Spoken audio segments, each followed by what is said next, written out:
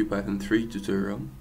Now, in today's video, I'm going to be explaining to you guys what loops are in Python.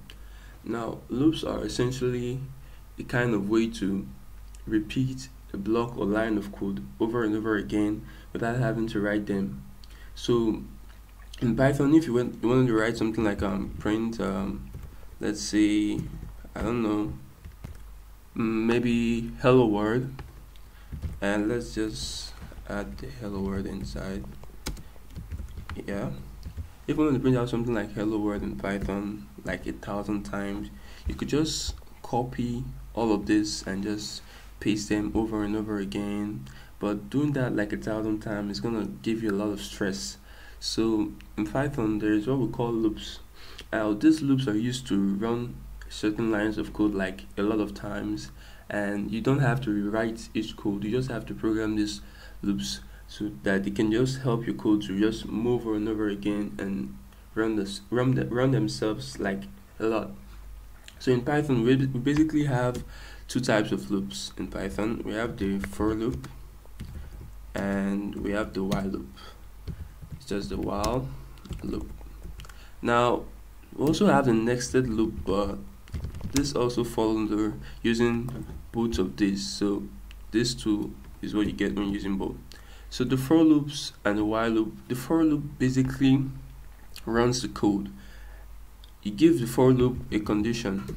Sorry you give it a number of time you need to run. So if you want to run the code like 10 times you could say something like for maybe i in range and just say print out you know just add the stuff here and then type in your code here uh, this stuff here will be the number of time you want your code to run. So if you wanted to run like 15 times you just say for i in range 15 or whatever. But we're not talking about that now. I'm just going to explain this to you guys. The for loop basically runs your code with the number of times you give it to run. So if you give it like a thousand times to run it will run your code a thousand times.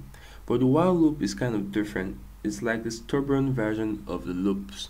Now the while loops they basically run code over and over again continuously they don't stop until you tell them to stop. So basically if a condition is true they'll keep running the code over and over again till the condition is false.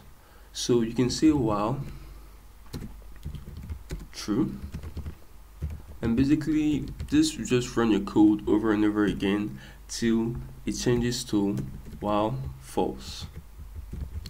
Don't worry guys. If you guys don't explain don't understand this stuff i'm gonna i'm gonna explain it for you guys in next tutorials to come. So i'm just gonna explain this to you guys as it is now so you can get basic understanding. So the while loop keeps running your code over and over again until you tell it to stop. So basically it doesn't stop as far as the condition is true. So anytime you use the for loop you just run a number of your code the number of times you tell it to run like a thousand times two thousand times five times 20 times whatever you want. But when using the while loop it tells the code to keep running until the condition is false. So you can also use while one instead of while true because one is also on in python. So basically the while loop runs every time the condition is true.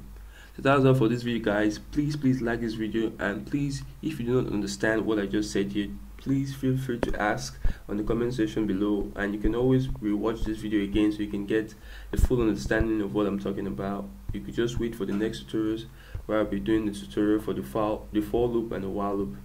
Uh, that'll be all for now guys. Thank you for watching this video. Please hit that like button and subscribe. And I'll see you guys in the next tutorial